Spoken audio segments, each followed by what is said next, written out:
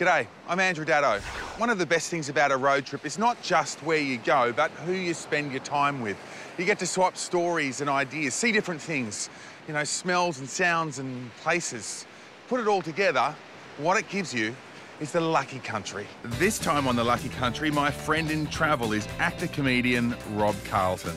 We're off to the Hunter Valley to sample the obvious I just want a taste. to the not so obvious. She gets photos for weddings. It's a bit weird.